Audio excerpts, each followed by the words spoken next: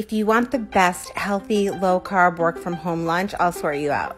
These turkey cucumber roll ups are so fun to make and so fun to eat. First, you want to peel your cucumber and line them up overlapping on a sheet of parchment paper. Pat them dry to remove excess water and put on your condiments. I'm using sriracha mayo and everything but the bagel seasoning. Pile on your turkey, again overlapping, and then some thinly sliced avocado. Roll it all up the long way and secure it with toothpicks. Slice it up and then devour. Follow for more easy, healthy recipes.